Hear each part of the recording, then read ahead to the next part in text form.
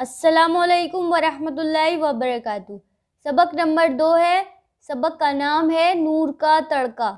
چاند کی روشنی پھیکی پڑ گئی، تارے بھی چھپ گئے۔ کوئی کوئی ٹمٹما رہا ہے۔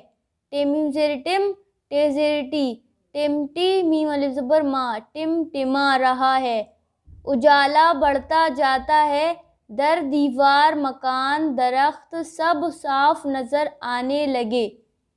نمبر دو، ٹھنڈی ہوا سن سن چل رہی ہے، پنکھے سے جھل رہی ہے، جیم ہے سے جھا، جیم ہے لام زبر جھل۔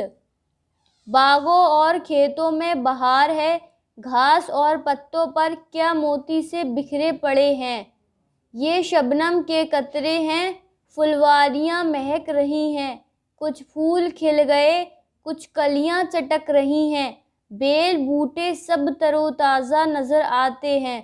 نمبر تین، چڑیوں کی چہکار چہ زبر چہ، کافل زبر کا۔ چہکار ساکن چہکار۔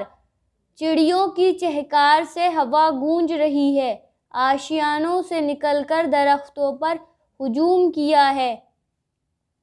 اپنی اپنی بولیاں بول رہی ہیں۔ کان پڑی آواز سنائی نہیں دیتی۔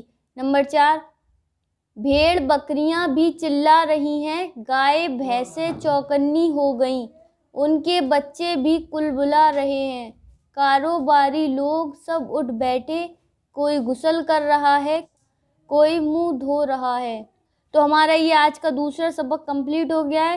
امید ہے آپ کو اچھے سے سمجھ آیا ہوگا۔ السلام علیکم۔